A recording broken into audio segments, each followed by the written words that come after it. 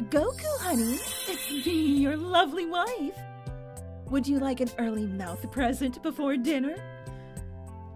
Huh, nice try, 21. I know Chi-Chi doesn't wear glasses.